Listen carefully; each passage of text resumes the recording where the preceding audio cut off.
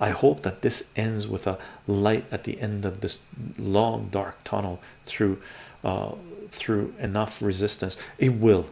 It I'm actually positive as to what's happening in the world.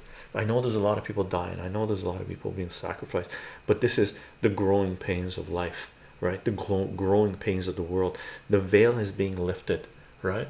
All the BS that has been fed into Western societies through corporate propaganda for the last 50 50 60 years is now showing itself for what it really was right? What it really was.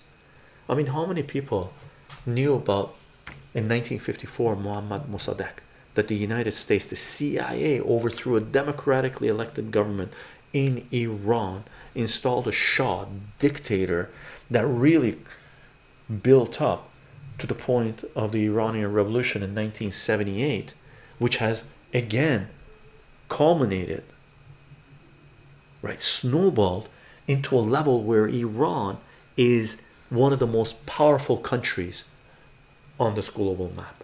Literally, Iran is more powerful now than pre revolution. Iran is one of the most powerful countries in the world, not because it arms other nations and stuff like that. As Iranians have said, they don't have proxies like the United States has. Iran has allies, right?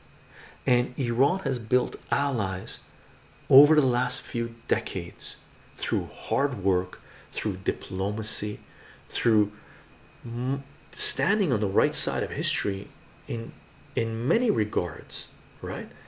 Iran is the reason isis with the help of russia and syria the reason that isis did not grow to be a full-on like cancer in the middle east that would be that could be used as a proxy on the whole globe right?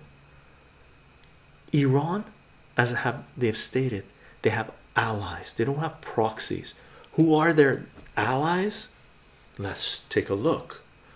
Russia china india in large part right?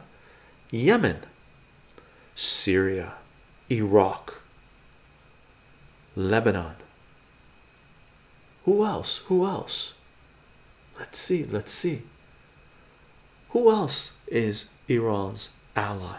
Is that enough to have allies?